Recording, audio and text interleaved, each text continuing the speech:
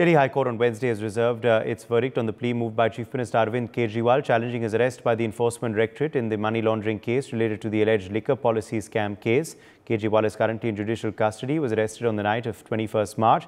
On 22nd March, the trial court had remanded him to six days of ED custody, which was extended by a further four days. On the 1st of April, he was remanded to judicial custody till the 15th of April. Earlier, Justice Sharma denied any interim relief to Kejriwal and only issued a notice uh, on his plea challenging the arrest as well as his interim application seeking release. Well, the ED, of course, has said that he is the kingpin of this uh, uh, scam and uh, that is why his custody is needed. My colleague Akshit has filed a ground report on this big story. Now, no major relief for the Delhi Chief Minister Arvind Kejriwal in which he is challenging his arrest by the Enforcement Directorate because the High Court, the Delhi High Court have uh, you know reserved their order in the plea uh, in which uh, yesterday uh, we saw some hard-nosed arguments uh, by Enforcement Directorate and uh, Arvind Kejriwal's counsel Abhishek Manu Singhvi in equal measure in the Delhi High Court uh, because uh, just to give you in a perspective, uh, ED said uh, that uh, those who have looted the country and those who are criminals uh, will have to stay behind the bars and they cannot cite elections as the mere re reason to challenge their arrest. Meanwhile, Abhishek Manu Singhvi, who is the counsel for Arvind Kejriwal, said that the attempt is aimed at, uh, at you know, uh, demolishing the Aam Aadmi Party and also to humiliate Delhi Chief Minister Arvind Kejriwal. I come to you live from Delhi High Court, of course, uh, just to show you some visuals out there, uh, because it's it's quite likely that Delhi High Court will take up this matter uh, for hearing today and uh, might also deliver their judgment in this case. meanwhile, if I just tell you that Additional Solicitor General S.V. Raju, who is appearing for ED, said that the Kejriwal's petition challenging his arrest uh, by the probe agency uh, should be rejected. Uh, and they've also uh, said that they want to attach some of the properties uh, of uh, Aam Aadmi Party, uh, but they are in a dilemma to do so.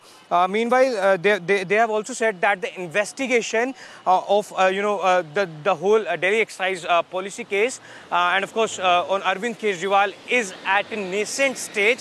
And of course they need more time for the custody.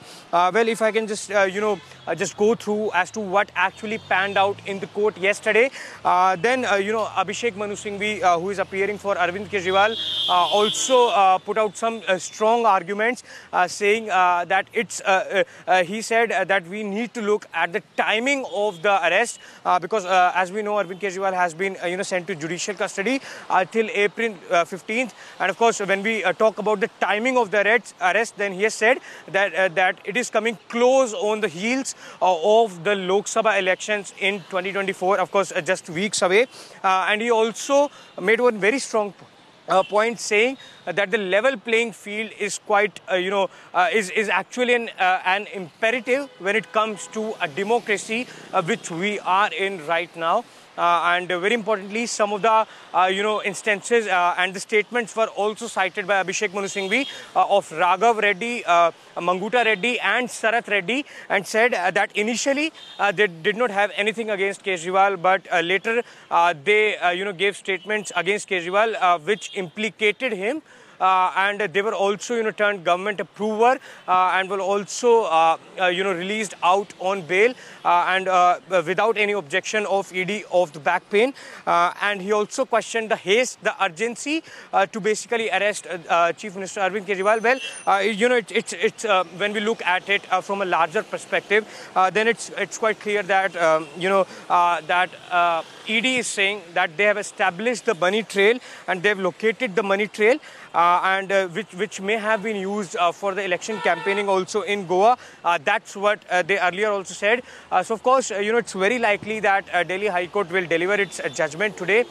meanwhile, it's also important that Arvind Kejriwal only said in the special Avenue court that he does not oppose his remand and that's, you know, also one of the points which ED raised. And very importantly, Abhishek Manu Singhvi also said that, you know, under Section 50 of the Prevention of Money Laundering Act, uh, they have not recorded anything uh, because there is a gap between the first arrest uh, and, uh, uh, I beg your pardon, uh, between the first summon and the arrest.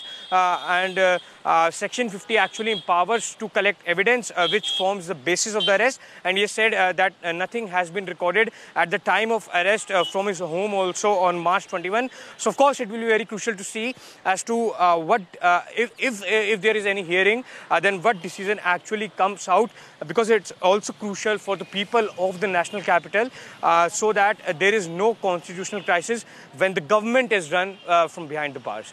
In New Delhi with camera person Ankush, Akshat Gupta for NewsX.